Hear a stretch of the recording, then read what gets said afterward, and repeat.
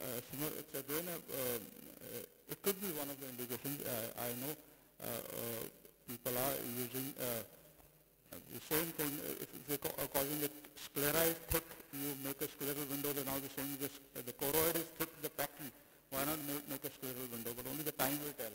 Theoretically, it sounds good. Thank you, sir. Thank you. And with that, I'm going to now invite my dear friend and colleague, Dr. Simar Rajan Singh, and he's going to be giving us uh, this presentation on endogenous endophthalmitis, something that we unfortunately have a lot more of in this COVID and post-COVID era. Dr. Simar, please. Thank you. Thank you, sir, and thank you for having me in this course. So, uh, talking of endogenous endophthalmitis, it is amongst the severest forms of inflammation we can have in the eye. It is secondary to hematogenous spread of microorganisms and constitutes about 2 to 8 percent of endophthalmitis, and recently it has been an increased number with the COVID going on, as Dr. Mohit just said. So, an important thing to know is that uh, whenever we have a, we have to suspect endogenous endophthalmitis when there is no antecedent trauma or antecedent surgery in the case and the patient presents with the inflammation in the eye. And not all the cases that are going to come to you are going to be very sick or hospitalized. The majority of them will actually just walk into your clinic and will have inflammation in the eye and not all will have a very red eye also you may have to so you have to be really suspicious that yes it's a case of endogenous endophthalmitis. Risk factors, recent hospitalization, very important. We have to look for the source of immunocompromise. Where is it coming from? Is it diabetes? It is long-term steroid use, some autoimmune disorders, HIV or malignancy. Diabetes and HIV are very common and they are often, the history is often not forthcoming. So you have to look for it, investigate for it and search the cause. And along with in India and especially in the part that I come from, Punjab, IV drug abuse and IV infusions for very trivial illnesses are very common. They will have fever, they'll go get a dextrose infusion and usually that will be infected fungal and that is a problem. And we did report this uh, from our center earlier where they actually found the fungal uh, growth in the dextrose bottles from the area that the patients were coming from. So etiology-wise, it can be bacterial or fungal. Uh, the gram-negative bacterial are the most severe, uh, amongst them Klebsiella, Pseudomonas, and E. coli. Gram-positive are more commoner and actually the commonest cause of endogenous endophthalmitis, Streptococcus and Staphylococcus. And fungal is something that we uh, have problems dealing with. They could be yeast or molds, and Candida and Aspergillus are the uh, two types in that. So it's important to differentiate Candida from Aspergillus from their clinical picture. the Candida usually have a longer history and an indolent course. The patient could be admitted and they could have an indwelling catheter. So these are the most common indications.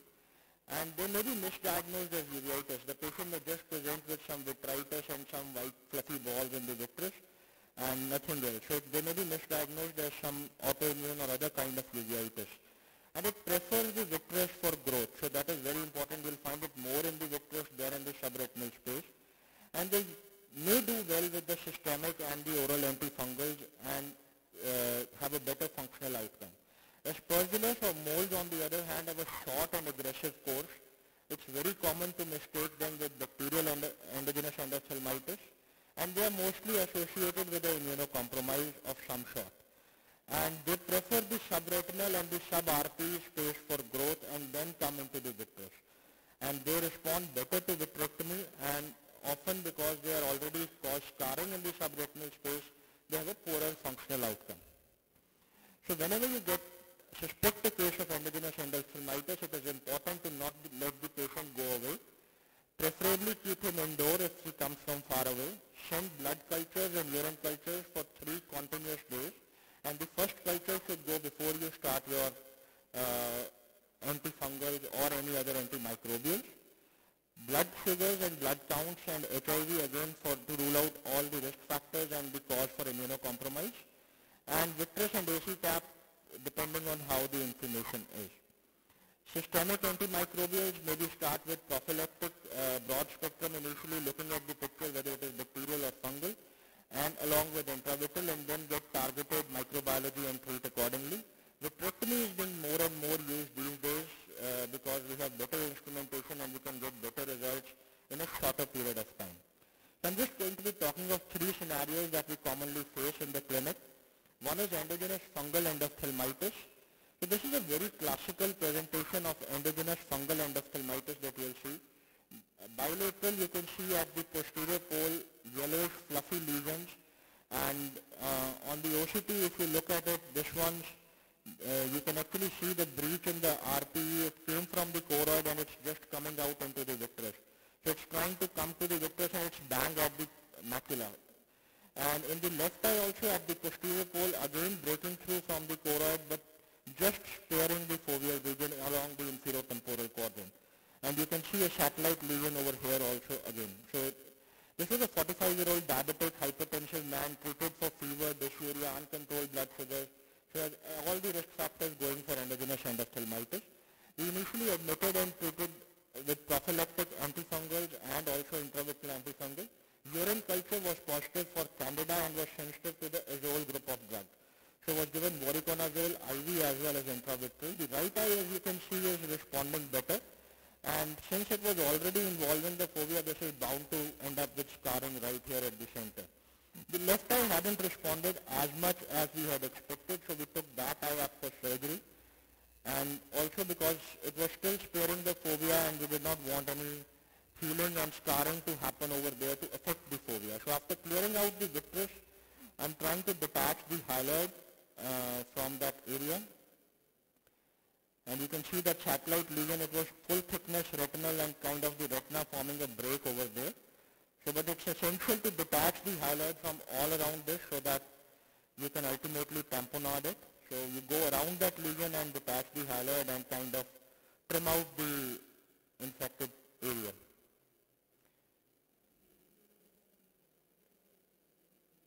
We are actually eating that away over there and that will be the end of it. So since this inferior temporal lesion was just one disc diameter from the fovea, I prefer to do ILM peel to prevent any future traction onto the fovea.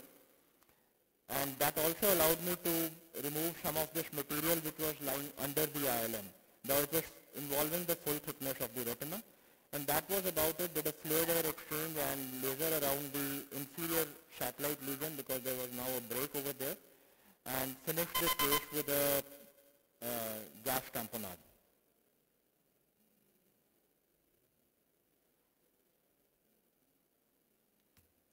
So the patient did well. The right eye you can see it's kind of scarred over there now. And the left eye, uh, this is the OCT passing through the lesion and you can see that that lesion has now kind of subsided and the fovea is fine and the patient did well after that. And in fact improved to about 618 in the left eye subsequently after the completion of treatment. So second scenario is endogenous bacterial endophthalmitis which may sometimes present very fulminantly. So this was a 22-year-old female complained of low vision for 20 days post-delivery. So we could not find the source initially. We were looking for the source and then while she was admitted in the ward, she uh, said that she, uh, it pains when the baby sucks for the uh, lactation. So then we saw the nipple and we could see a cracked nipple and actually pus over there and that pus that was sent for culture revealed Staph aureus and also the vitreous revealed the same organism. It was sensitive to vancomycin and the patient was subsequently treated with intravitreal as well as systemic vancomycin and you can see the course of healing along and as is very common in such cases the hyaloid is subsequently going to detach because of the inflammation in the eye. The patient had a retinal detachment after the hyaloid detached with a horseshoe tear over here which was subsequently treated with vitrectomy and a gas tamponade. But because of the scarring the visual gain was modest. And you can see the uh, OCT of the fovea with the infection reduced but the scarring remaining. The third scenario which I personally see very commonly seeing a lot of ROP babies is neonatal endo endogen endogenous endophthalmitis. It can have two kinds of presentation. The first one is a very fulminant kind that the parents actually themselves bring to you and you can see this eye is completely yellow, severely inflamed and with a T sign on ultrasound. So this is in panophthalmitis actually. And it's very difficult to salvage these eyes. We are usually not able to. It's important to examine the other eye for any focal lesions in that. The second kind of presentation is a focal endogenous endophthalmitis and that is most commonly incidentally detected when you are screening for other disorders and more commonly for ROP, as you can see the side, this also has a stage over here and then we presented stage 2 along with this focal lesion and this one was right at the fovea. So these kind of cases usually do well with treatment. This one of course because the fovea is going to be scarred but still you can manage them and majority can be managed with intravitreal and but if required surgery can be done. And it's important to note that like such a case, whenever you're giving intravitreal, it may be pertinent not to suck too much of the vitreous because the vitreous is very formed in these cases and tends to leave a drag on the fovea and uh, altered anatomy after that. So sampling can be done with vitrectomy better and you can just inject the intravitreal. So these two spectrum have been reported from this uh, study from LV Prasad Eye Institute also. So just concluding the Indian perspective, how it's different from the Western, what Western literature reports. We have a, uh, the, we have a younger age of presentation and the underlying cause cannot be found in a majority of our cases. Bacterial do form the majority of the cases with Klebsiella being very important, especially in hepatobiliary infections. And fungal infections should be kept in mind in cases with immunocompromised and IV dextrose infusions. Our yield from urine and blood cultures is usually poor because the patient often gets some treatment and then comes to you. So they are already under some antimicrobial, so they are not treatment naive. And early vitrectomy is increasingly being used for us because it gives a quicker result and better resolution of the infection. And a lot of the data that I presented comes from these two landmark trials that were published a couple of years ago in the Indian Journal. So I would recommend going through that for the Indian scenario of endogenous endophthalmitis. Thank you very much. Thank you, sir. Thank you. Great talk. I think the, uh, for me, the, the second last slide in which we compared both of the, you know, what's the, the published literature and the Indian perspective is very, very important.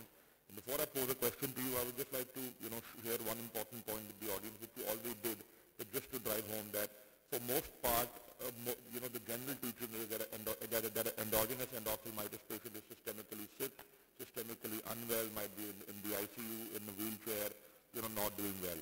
Yes, that's true, but that's not the whole truth because you have a distinct subset of patients who will walk into your clinic, they will be afebrile, their PLCs will be normal, you will have no evidence, they'll be fit, fine and healthy, they'll be young individuals, but they will have endogenous endophthalmitis, generally unilaterally, and that is secondary to contaminated either IV infusion fluid related, uh, you know, in, you know, so, so they get a bolus somewhere and that goes and sits in the eye. And once that infection has gone through the chorioretinal barrier, it gets stuck. It has no way to go but to try and eat away the eye from, from inside. So these people will be walking into your clinic. They will not be sick. They will not have systemic issues. And they need surgery because there is that bolus of infection which sat in their eye that needs to be taken out. The other one, the other group, which is bacterial endophthalmitis, the sick patients, since it's a systemic infection causing uh, ocular problem, the cornerstone of therapy is systemic antibiotics slash antifungals and intravitreal therapy, but with a very, very low threshold for vitrectomy, given the condition of the patient, if it permits or not. Because lots of times they will be in the ICU, they will be very, you know, they will have other comorbidities, there will be no clearance, you will not be able to wheel them up into the OT. So to, till that time, uh, especially if it's a bilateral process, injecting in both the eyes and trying to keep the eye uh, in a state where you can operate later on once the systemic condition improves is of paramount importance. So I think that is very, very important. Um, I'm just going to ask one question, uh, uh, in, the, uh, in the interest of time. And this is uh, regarding if you are fresh, so if you suspect fungal endogenous endophthalmitis based on your clinical experience or what you see in the, in the eye, um, it, you know, let's say the vision is pretty good, 6, 12, 6, 18, um, you know, patient just has some floaters, maybe some string of pearls. Would you, uh, what is your threshold for vitrectomy there? Is it acuity dependent on other factors? It is similar. Is your is your choice process similar to a patient having an ERM with a particular thing, or would you uh, differ? Uh, I think it's dependent on where the uh, lesion is sir, and how much the quantum of inflammation is. So if the vitreous is going to be filled up with that thing and I'm not able to have a good view, I'll operate right away. So in the other case, if the lesion is kind of peripheral and you think you can treat it with systemic, I will treat it with systemic. But if it's closer to the fovea, I will uh, intervene right away. So of thing that's deciding uh, when to intervene in these cases. And especially if there is no response with systemic, you would want to intervene there. Yeah. I have a question for you. Great talk. Uh, uh, this is um, uh, from the general ophthalmologist. Uh, uh, whenever I'm seeing a case of endothelm, endogenous endophthalmitis, uh, if I have to do tap and inject, so what do you prefer? I should add antifungals in that or I should wait for the results? I personally do add if I suspect it clinically. Uh, it's not, there is no consensus on that, that we give prophylactic antifungal. But if I suspect clinically it is fungal, I will add antifungal in the tap. And uh, which will that be? Which antifungal you will use? Still prefer amphotericin B, sir. Uh, Still has a wider spectrum. But yes, we would want to get a culture sensitivity and know, as in, I showed this case which had candida and it was sensitive to only the roles and it. So you will give Vanco, Cefta, and and and. All four you will give? All four. All right. Thank you. Uh, just one question, please, please. Sir. Thank. It's, it's working now. Uh, actually, I have one question. If we have uh, focal lesion in the uh, band in the posterior, still uh, would you go for a vitreous tap, but the yield will be very low and it will cause some drag and there may be some complications. I agree. So that, that is why I said it depends where the inflammation is. Hmm. So usually there are cells that uh, spurt out into the vitreous and that is what we are trying to collect. So that is why I said in, in neonatal cases especially the vitreous is very firm. So where you are taking the tap your yield is very low and the vitreous is not going to come in and your uh, growth will also be very low. So that is why I said in those cases it may not be advisable to take a tap that way. But in adults where the vitreous is a little bit liquefied and all that and if you see vitreous cells on your clinical examination, I would take